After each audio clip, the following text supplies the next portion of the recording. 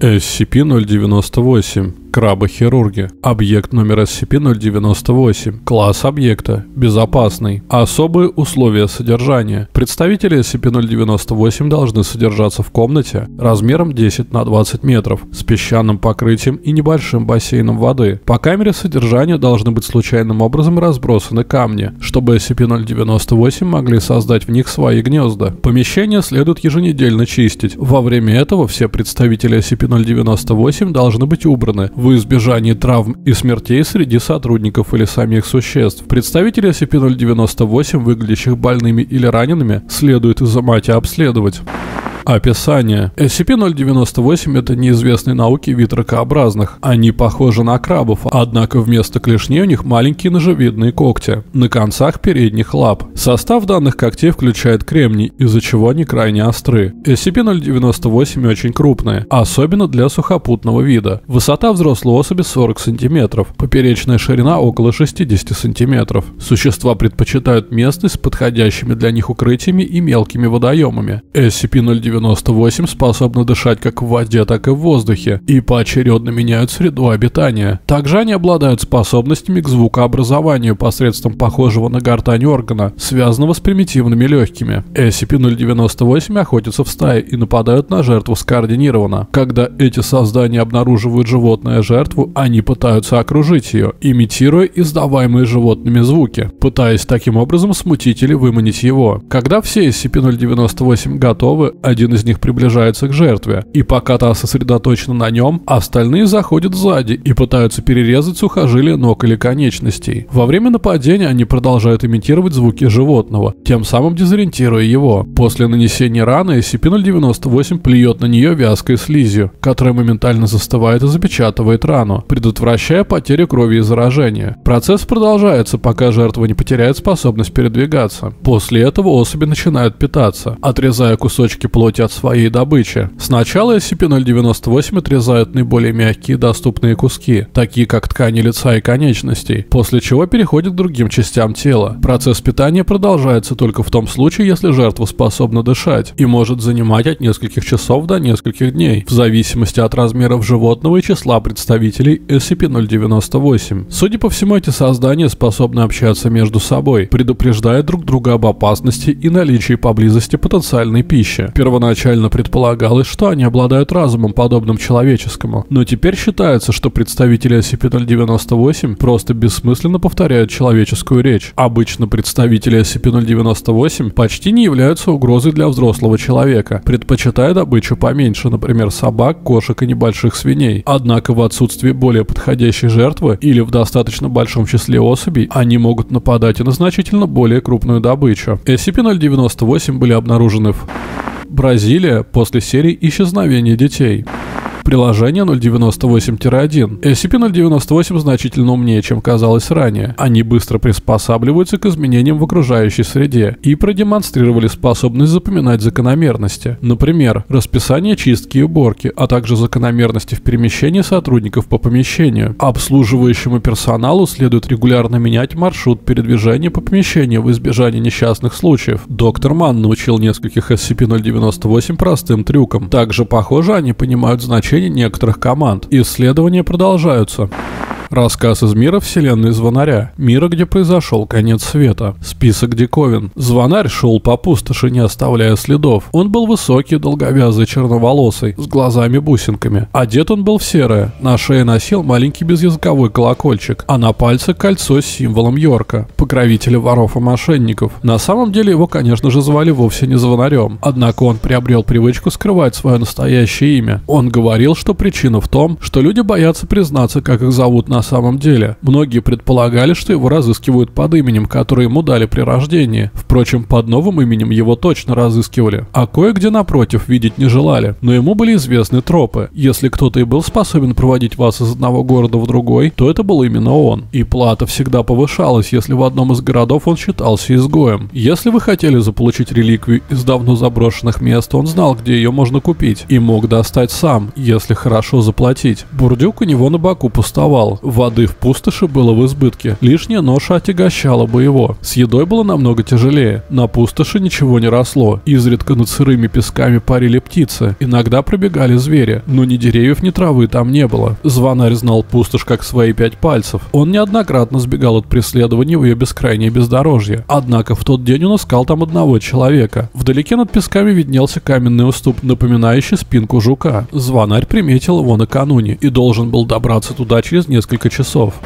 «Эй, звонарь!» — вдруг раздался оклик. Звонарь, мигом напрягшись, потянулся к рукоятке меча, но тут же расслабился, заметив на гребне одной из дюн человека в одеянии из толстой кожи. «Бинадем, я пришел к тебе!» Человек пошел по дюне вниз к звонарю. Он улыбался. Голубые глаза сияли из-под кожаной тибетейки, низко надвинутые на лоб. «Так я и думал. Я заметил тебя вчера. Что привело тебя сюда?» «Я нашел письмена и хочу, чтобы ты поведал мне их значение», — сказал звонарь. Он поднял ящик с ручкой, который нашел, скитаясь по свету. Скитаться ему пришлось после того, как при попытке ограбить дом чародея он пал жертвой зачарованного бассейна. «Чемоданчик полный тайн», — сказал Бенадем. «Я удивлен, что он сохранился. Что ж, следуй за мной. Я устроил привал неподалеку. Там мы можем провести долгую беседу». С Бенадемом было вечно так. Он всегда встречал звонаря в пределах дня пути до скал. У него всегда был привал неподалеку. Звонарь ни разу не доходил до скал и не знал никого, кто бы побывал там. На вид Бенатем был среднего возраста, но звонарь не слышал, чтобы он когда-либо жил вне пустоши. Поговаривали, что он стар, как сама пустошь. По крайней мере, он знал немало о старых временах. Отшельник повел его вверх по дюне, к маленькой палатке, сделанной из кожи на каркасе из костей какого-то крупного животного. Рядом стояло хитроумное металлическое устройство, из которого поднимался огонь. «Ну, давай взглянем на чемодан», — сказал отшельник, взяв его у звонаря руками в кожаных перчатках. Он открыл защелки почти не глядя. Звонарю потребовалось несколько минут, чтобы понять, как он это сделал. Тем временем Бенадем изучал пожелтевшие хрупкие бумаги. Наконец он тяжело вздохнул и спросил, «Где ты это нашел?» «В крепости в скале, далеко за морем», — ответил звонарь. «Это одна из крепостей старого порядка». Он едва сдерживал волнение. Там были и другие реликвии, но только эту я смог перенести без труда. «Как ты попал на земли за морем?» – поинтересовался Бенадем. «А, неважно. Ты понимаешь, что ты достал?» «Тайны?» – улыбаясь, сказал звонарь. По реакции отшельника можно было понять, что бумаги очень важны. «Можно и так сказать», – согласился Бенадем, медленно кивнув. «Это список. Диковин, как вы говорите, и указание мест, где находятся дзоны. Даже родного дзона?» – жадно спросил звонарь. Бенадем вдруг выпрямился. «Звонарь, нет, ты не знаешь, что там. Его не зря покинули». Я не боюсь. Я и раньше бывал в зонах. Звонарь выпрямил узкую грудь но не в этой. Я не позволю тебе сделать этого. Не останавливай меня, старик. Просто скажи мне, где этот зон. Звонарь схватил отшельника за запястье. Рука под его рукавом оказалась твердой и тонкой, словно от нее не осталось ничего, кроме кости. Бенадем не пошевелился, и лицо его не изменилось, но звонарь все же почувствовал некоторую перемену, словно отшельник вдруг увеличился в размерах. Волосы на шее звонаря встали дыбом, в воздухе витала мощь, словно перед ударом молнии. «Хочешь меня ударить?» – спросил отшельник. Звонарь отдернул руку и отвернулся, невольно смутившись. «А теперь я положу конец всем этим бредням», — сказал Бенадем. Он сложил бумаги на огонь, и они в то же мгновение вспыхнули. «Ты еще поблагодаришь меня, что я спас тебя от тебя же самого, понимаешь?» В душе звонаря вскипело негодование. Он ненавидел оставаться в дураках и не смог сопротивляться искушению позлорадствовать напоследок. «Ты ничего не изменишь», — сообщил он. «О чем ты говоришь?» — подозрительно переспросил Бенадем. «Думаешь, я проделал это путешествие только с этими бумагами, такими хрупкими? У меня было время сделать еще дюжину, но я их все спрятал. На самом деле времени у него хватило только на одну копию, и лежала она у него в сумке, но Бенадем этого не знал. «Звонарь, ты этого не сделаешь, я тебе не позволю». Бенадем поднялся и на какое-то время звонарю показалось, что тот ударит его. «Ты меня не остановишь», — заявил он с храбростью, которой вовсе не ощущал. «Ты не убийца». Бенадем посмотрел на него несколько секунд, а потом к изумлению звонаря расхохотался. «Ох, звонарь, если б ты только знал. Нет, я не убью тебя. Но не по тем причинам, которые ты предполагаешь. Ладно, иди, я не могу тебя остановить, но не знаю, как ты собираешься следовать указаниям в бумагах, которые ты прочесть не можешь. «Я найду другого, кто знает старый язык», — бросил звонарь. «А других и нет», — сообщил Бенадем. «Я единственный, кто его помнит». «Неправда, есть еще один. И его не так уж и сложно отыскать». «И кто?» «Ох, звонарь, ты же не пойдешь к югу, правда?» Глаза Бенадема погрустнели. «Если ты мне не поможешь, то у меня не останется выбора», — ответил звонарь. «Я бы пошел хоть к самому Бариту, если бы он предложил мне родной дзон». Бенадем только потряс головой. В руках Эвермана нужно бояться не смерти. Звонарь поддерживал небольшой огонек, наблюдая за входом в пещеру. Он был в неделе пути от пустоши. Снаружи что-то двигалось, крупнее собаки и более неуклюжее, чем прыгуны. Конечно, это мог быть и другой путешественник или разбойник, но звонарь не видел уже никого два дня. Юг был проклятый землей, это было всем известно. У входа хрустнула ветка, и свет заслонила человеческая фигура. Белые пустые глаза уставились на него. Изо рта с отвисшей челюстью вырвался низкий стон. «Гиирова кузня!» – выругался звонарь и поднял меч. На просторе ходячие мертвецы были лишь досадной помехой. Их медлительность и неповоротливость сделали их легкой добычей. Однако в тесноте пещеры существовал немалый риск быть укушенным. Мертвец, спотыкаясь, попрелся к нему. Нечаянно ступил в костер и даже не посмотрел на пламя, лизнувшее его ногу. Он просто сделал еще один шаг вперед, пытаясь дотянуться до звонаря, вздувшимися пальцами. Звонарь махнул мечом, отсекая пальцы. Он попытался обойти мертвеца и выбраться к выходу, но тот отступил и схватил его за плечо неискалеченной рукой. Звонарь вырывался, стараясь не наступить в огонь самому, и пнул противника под колено. Мертвец упал, чуть не повалив его самого, и путешественнику едва удалось отскочить, чтобы чудовище не впилось зубами в его ногу. Оно поползло к нему, и звонарь мигом выскочил из пещеры. Он поздравил себя с очередным отважным бегством. Теперь оставалось только ждать, пока мертвец вылезет наружу, и его будет легко одолеть. Путешественник обернулся, и улыбка медленно увяла. Мертвец выполз в кучу палой листвы у входа в пещеру, и она уже начала тлеть. Звонарь глядел сухие заросли вокруг и вновь перевел взгляд на пещеру, где лежали все его запасы. «Клев, его побери!» – раздосадованно воскликнул он. Стащив себя куртку, он принялся сбивать ее пламя. Мертвец продолжал пытаться укусить его даже тогда, когда звонарь тушил его самого и кустарник рядом с ним. В конце концов, куртка тоже загорелась, ее пришлось бросить. Пожар быстро распространился, и вскоре звонарь понял, что потушить его не удастся. Оставалось только бежать. Он перепрыгнул через мертвеца и заскочил обратно в пещеру. По полу стелился густой, удушливый дым. Путешественник схватил заплечную сумку. Кашля выбежал наружу. Увернулся от последней слабой попытки зомби ухватить его за ногу и побежал. На ходу пытаясь высмотреть за деревьями ручей, реку или что угодно еще. Когда наконец где-то блеснула вода, он вдруг почувствовал странное тепло сзади. Глянув через плечо, звонарь увидел дым, поднимающийся из заплечной сумки. Он резко сбросил ее со спины и принялся рыться в ней, вынимая пока еще целые бумаги. Потом он отбросил ее в сторону, сопроводив ее ругательством, и продолжил путь во тьму, подальше от рыжего зарева, поднимавшегося за спиной.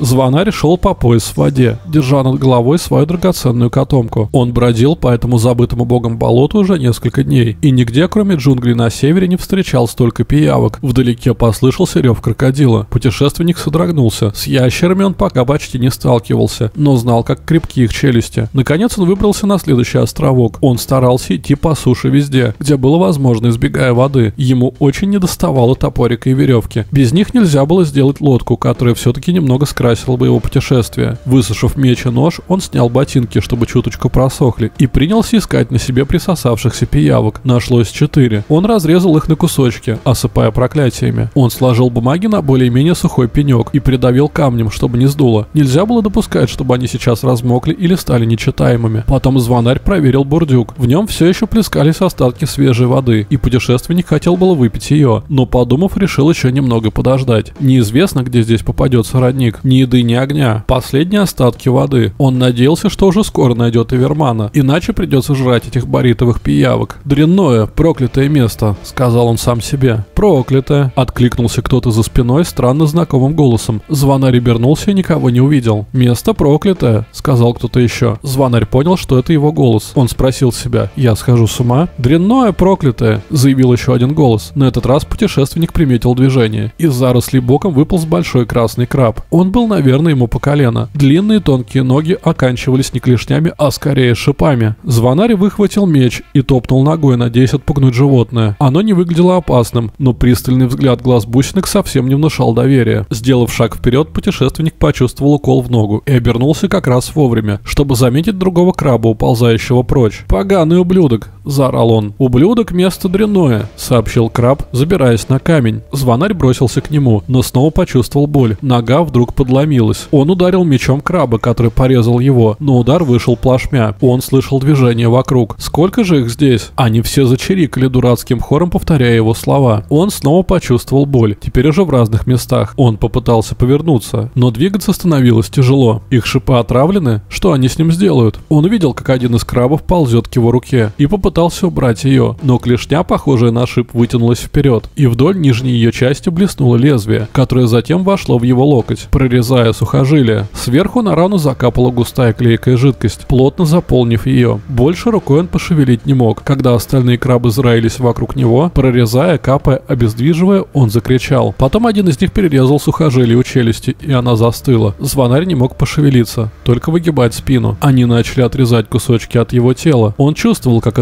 отрезали пальцы рук и ног, как один из них добрался до мягкой плоти его лица. Последнее, что он видел, это две острых клешни, тянущиеся к его глазам. Через какое-то время он услышал странный гортанный голос и шорохи уползающих крабов. Потом он почувствовал укол напоследок. Кто-то поднял его и понес куда-то. И тогда он провалился в сон.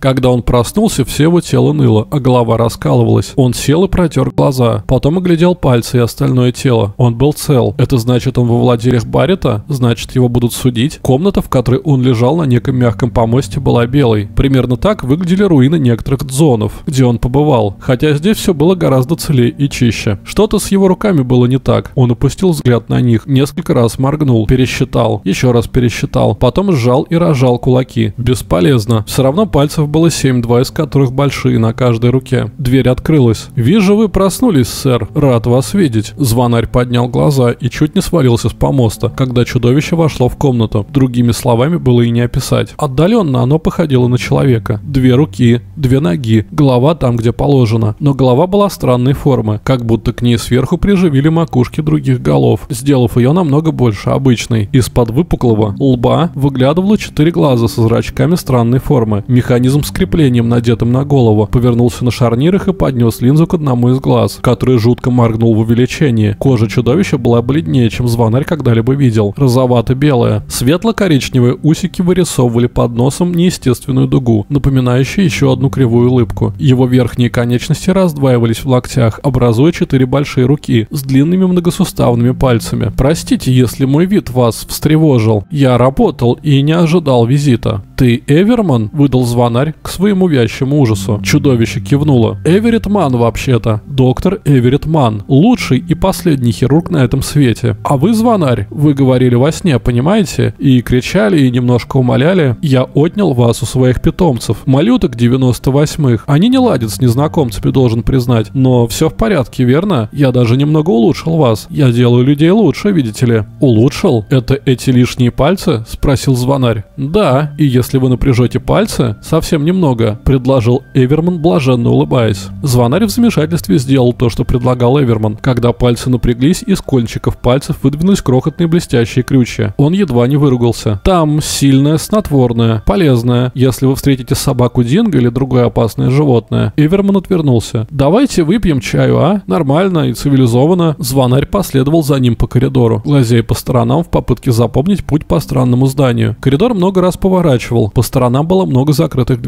За некоторыми из них были слышны голоса, но звонарь не знал ни одного из тех языков. Он мог поклясться, что за одной из дверей слышали стоны и плач. Наконец они пришли в огромную обширную комнату, пустую за исключением маленького стола посреди двух стульев рядом с ним. Эверман указал на стул. Когда звонарь сел, открылась другая дверь. В комнату вошло нечто. Оно было похоже на человека, но однозначно им не являлось. У него было четыре ноги, расходящиеся в стороны, как у насекомых, и руки, которые сгибались в чересчур многих местах. Лицо выглядело совсем нормально, и это, конечно, сбивало с толку. Существо несло серебряный поднос. Подойдя к столу, оно сняло крышку, открывая взору фарфоровый чайник с цветами, две чашки и сахарницу. Эверман поставил на стол чайник, чашки, а затем и сахарницу, и принялся разливать дымящийся чай по чашкам. Взглянув на звонаря, он начал. «Вы будете...» «Нет, подождите, я полагаю, вы не знаете, что такое сахар для чая. В общем, это что-то вроде меда. Я положу вам немного, ладно?» Он взял из сахарницы два белых кубика и положил по одному в чашку.